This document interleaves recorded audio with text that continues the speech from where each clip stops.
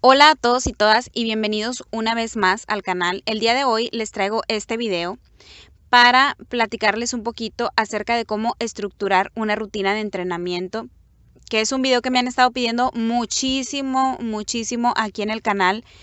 Y la verdad es de que probablemente en algún momento he hablado vagamente de ello, pero el día de hoy quiero ampliarme un poquito más en este tema, que creo que es un tema muy importante y que creo que las personas cuando van empezando a entrenar con pesas se han preguntado, ¿no? Siempre dicen, híjole, es que cómo le voy a hacer o cómo armar mi rutina.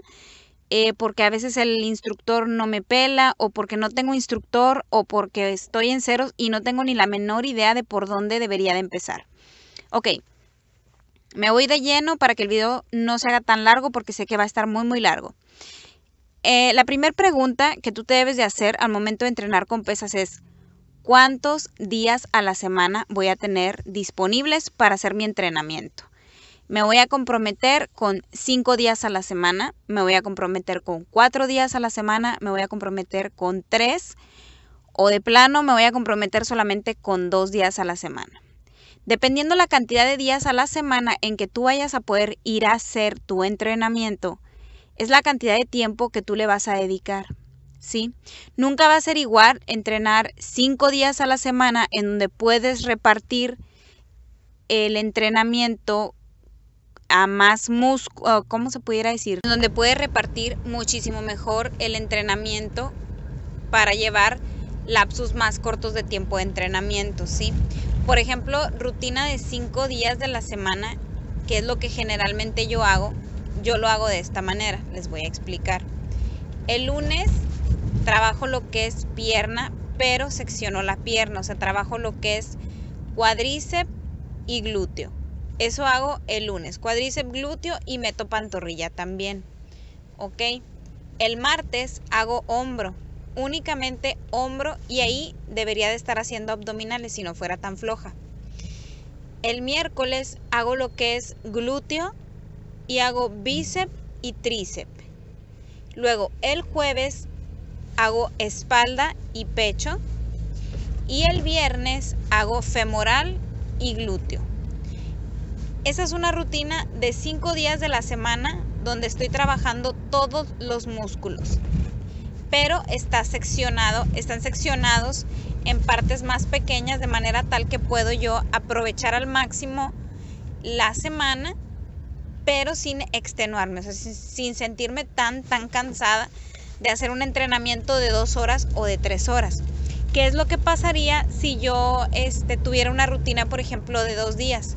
Que sí se puede, haces una rutina de dos días con una rutina que se le llama full body o una torso-pierna podría ser, pero ahí sí le tendrías que meter mucha caña, o sea, tendrías que darle más tiempo de entrenamiento para poder abarcar lo más posible de, la parte muscular, ¿verdad? O sea, las, mayores, las mayores cantidades de músculo que se pueda.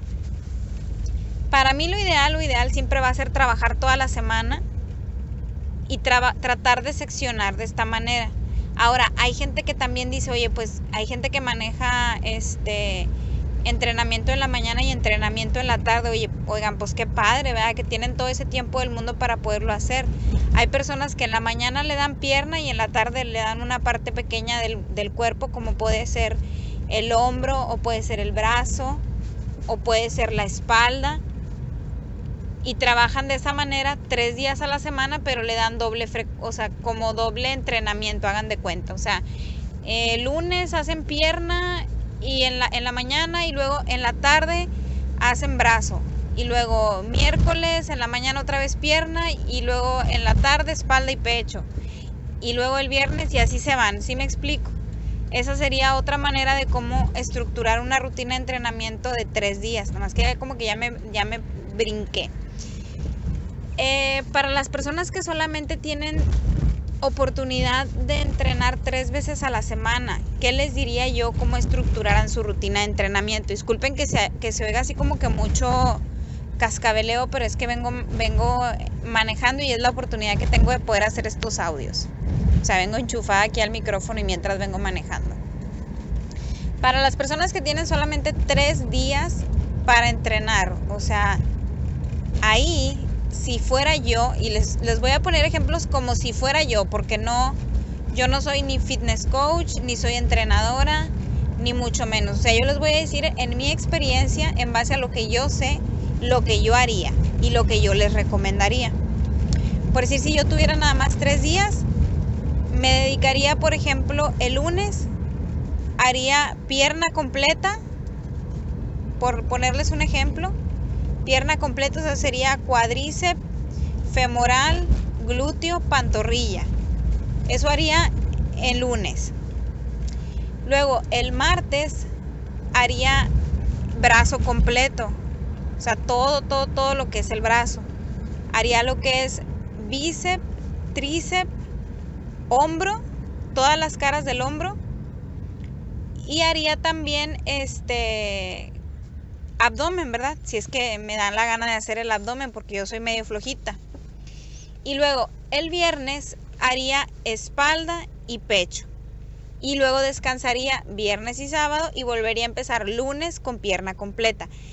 Esta estructura de entrenamiento, o sea, de tres días a la semana, no me encanta mucho porque si se fijan, pasan muchos días para volverle a dar, este, ¿cómo se llama?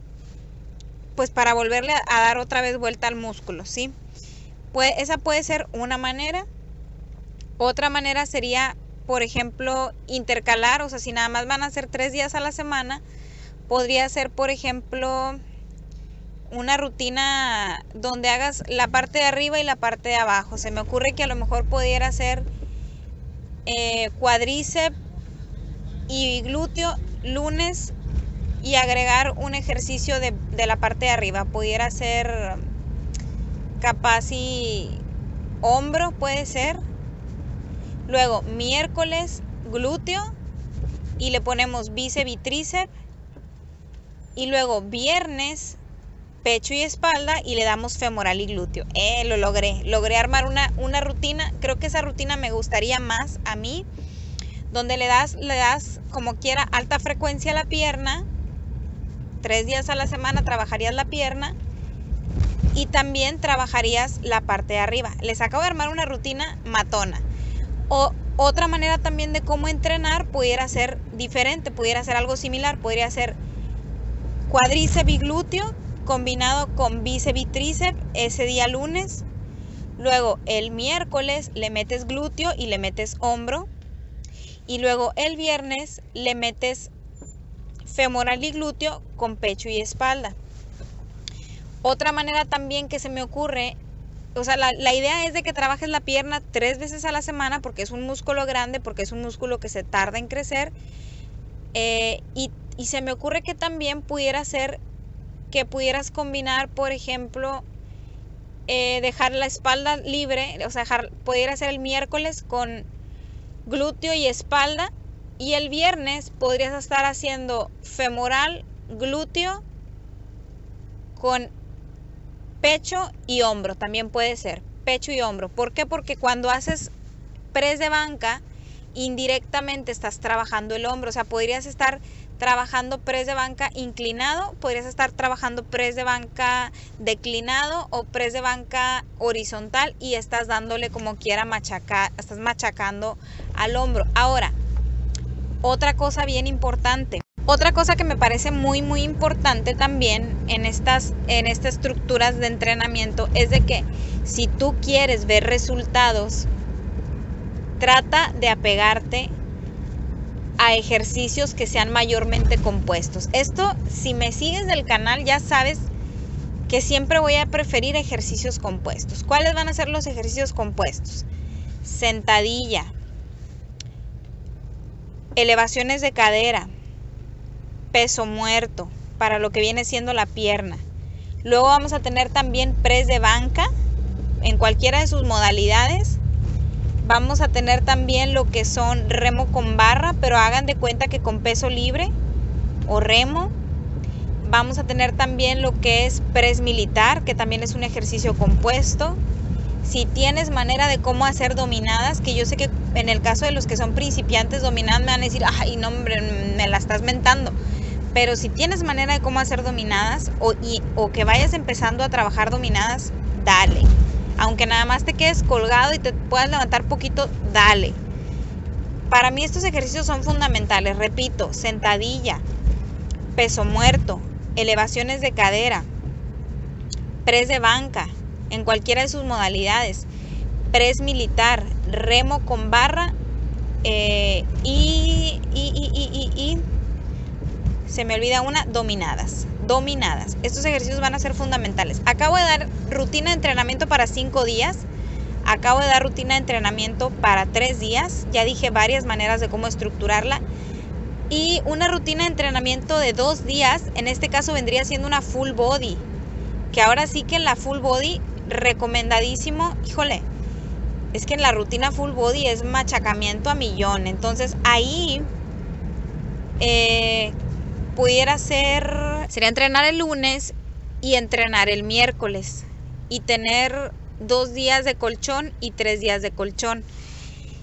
Eh, en la rutina full body ahora sí que ahí se puede trabajar con ejercicios, preferiblemente ejercicios eh, que sean mayormente compuestos, o sea, y trabajarías, por ejemplo, yo metería lo que sería sentadilla, metería lo que es press militar, metería lo que es press banca, metería dominadas y metería eh, lo que son ejercicios accesorios de hombro. ¿Ok? Eso sería para una rutina full body. Eh, va a haber necesidad también de complementar con accesorios tipo patada de glúteo, tipo este ejercicios para la pantorrilla, abdomen.